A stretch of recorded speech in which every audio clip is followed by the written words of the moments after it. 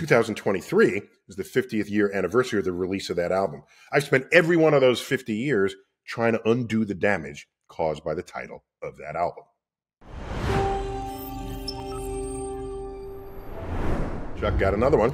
Okay. It's in our culture. There's no, there's no escaping it. Some percentage of people who walk this earth, when asked, would be sure that there's such a thing as the dark side of the moon. Yeah, that's where the Transformers hide out. It's I thought it was just the other side of the moon. All right. so the dark side of the moon, I think, hit a peak in 1973. Do you know what happened then? Uh, did Pink Floyd put out an album? Pink Floyd put out an album. Because Oh, that that would do it. and you know the album did really well. See, Yeah. that's the problem. If if people hated the album, my job would have been way easier because no one would have been brainwashed by it. Exactly. 2023 is the 50th year anniversary of the release of that album. I've spent every one of those 50 years trying to undo the damage caused by the title of that album. See, now what you should have done is just, you know, you should have took Pink Floyd out the same way you took out Pluto. Wouldn't have would not have to worry about this. get, get authoritative legislation. the uh, dark side of the moon is now dwarf side of the moon. Whatever. So now, if you if you listen to the title track like with headphones, the very last sentence, the very last two sentences, you know what they are? I do not. Okay, but you got to listen because there's a lot of fadey kind of music in the, in all, all of those tracks. So you listen, and it's it says at the end, "There is no dark side of the moon." There is no dark side in the moon, really. Problem solved. People just listen to the song. However, there's a sentence that follows it. Oh, of course, there has to be. Matter of fact, it's all dark. Oh, oh, oh, that's a little more philosophical. It's a little more philosophical. Yeah, yeah. yeah, yeah, So then I said I can't get on their case too much here because that's just being poetic. yeah. Well, And but anyhow, there are people who still think that the other side of the moon never sees sunlight, true. which is interesting for anybody to think that because you've never seen the far side th- that side of the moon. So why would you even conclude that? The moon does always show the same face to Earth. And Tidal we talk about- tidal locking. That's right. Right. So the other side of the moon gets as much sunlight as the near side. So there's a far side and a near side. And a day on the moon lasts 30 days, 30 Earth days. So there's like 15 days of sunlight and 15 days of darkness. gotcha. So yeah, so moon has days just as we do. But so I see, had you thought about it, Chuck? When you see a half moon in the Right. sky, Right. wouldn't you think that like the half you don't see on the other side is also getting sunlight, right? Right. Wouldn't you- Well, I mean, isn't that how shadows work? Shadows and round And things. shadows and round things kind of work that way, you know.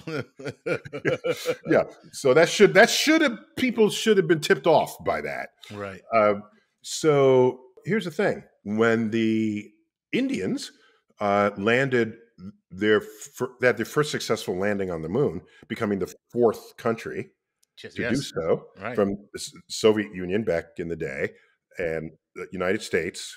By the way, Soviet Union got there first. Soviet Union beat us at everything until we put humans on the moon. Then we said we win. so hey man, that's how you got. That's how you win. You change the rules. cha- change the Change, goalpost. cha- change, move the goalposts and change the rules, man. You put the know? goalpost where you're standing, and then you win. So yeah, they beat us at had the first.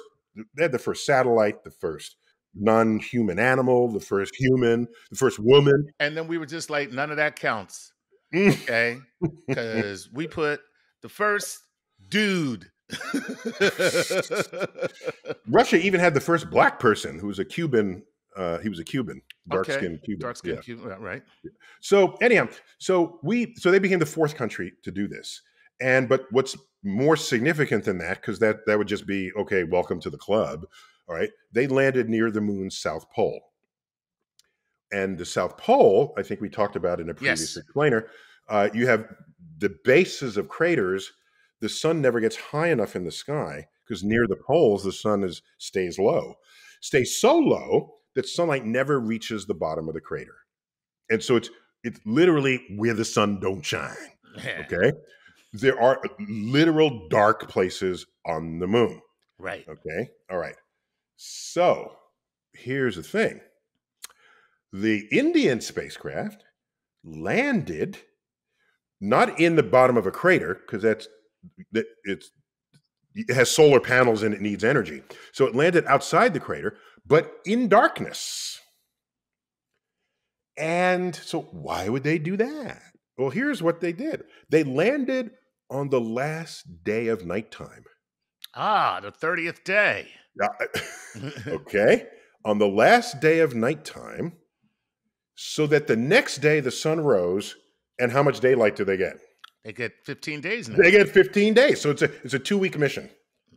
No, that was so smart. Yes. Ah, Yes. that's really cool. Yeah. And So, so, you now they that- have two weeks to go look for their ice or whatever. And Yeah, yeah. The uh, water is be frozen, of course. That's right. yeah. Yeah, and so uh, yeah, it's smart people are people who figure this stuff out. And as a matter of fact, it is rocket science, right? Because they have to leave Earth so that they landed there at that time. That's right. That's right. Okay. So so oh, so my point is there were some Indian headlines that said um, Chandrayaan three, which is the name of that mission, landed on in, on the dark side of the moon. Oh. Yeah, see, so they got Oh. they got caught up in that. Yeah, but that wasn't the Indian space program saying that. It was the journalists who Correct. don't understand. Right. That So there is no dark apparently, side. Pink Floyd's album had worldwide influence that I didn't know about. Yeah. Well, the album sales could have told you that. Yo, what's up? Chuck Nice here. You know, I'm doing my first science themed comedy special. Now, don't worry, I'm not going to try to make you learn something. I stress education so much in my home, my children think that I am an Indian parent. But if you do learn something, that's totally fine. My special is called Chuck Nice Just Smart Enough. It's taping at the Midnight Theater on November 17th and 18th here in Manhattan. So go to chucknicecomic.com, pick up your tickets, and then come to the show. And guess what? Stupid people are welcome too. So uh, I think they might have seen it landed in the dark, and then moon Right. and the word dark becomes dark side Dark of the side moon. of moon. Wow. Yeah, yeah, Yeah. And so, uh, so you might ask, well, how cold is it where the sun don't shine? Oh, how cold is it where the Yeah, sun don't shine? Hundreds of degrees below zero. That makes things difficult, doesn't it? and so, th- so this water, which would have arrived by comets, you know, moon's been hit by stuff. Right? yeah. In case you didn't notice the Yeah. the, the the the acne. That's why the man, mark. yeah, that's why the man in the moon's face looks like a pepperoni pizza. What a terrible shame! The guy looks like he's like got some serious hormonal problems going on. some, teenage acne Yeah, issues. a man in the moon is not getting a date to the prom. That's all I'm saying. It's going to be tough. Really, it's rough. It's rough. You need a little So- Accutane. So because there's no atmosphere to smooth out the hot places and the cold places, Uh-huh. because what happens is in our air, our air sort of captures the heat once the sun heats the ground, and it moves that around. Right? That doesn't happen on the moon. So uh, where the sun is shining, it's 200 degrees above zero.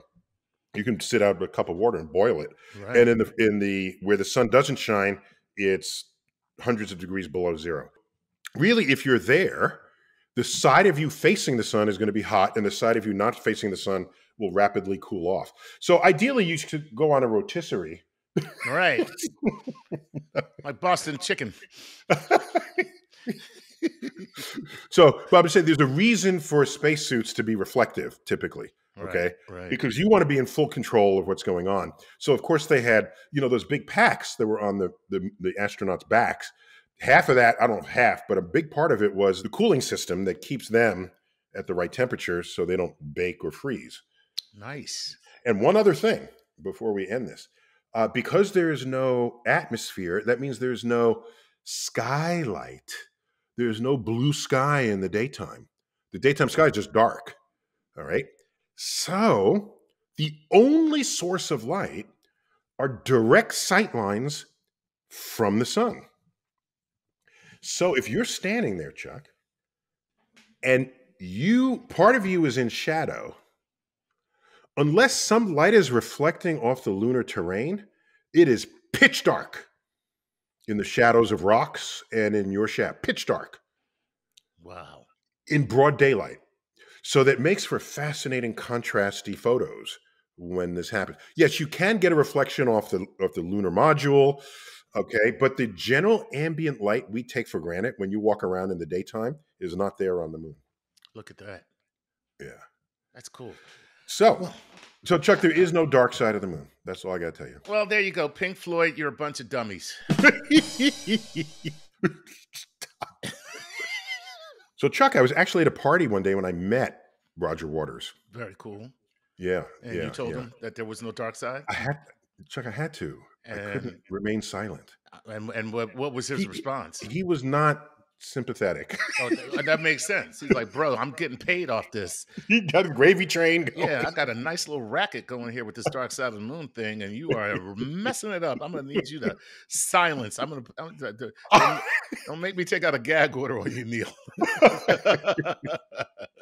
But anyhow, you know, this, the job of the educator never ends. I think that's what's going on here. As long as there are forces of untruths that pervade the world. okay, well, look how poetic you are. Uh, I was about to say, as long as there are ignorant dumbasses, the job of the educator shall not be finished. all right, that's all I got for you on the dark side of the moon. Okay, all right. All right, as always, I bid you to keep looking up.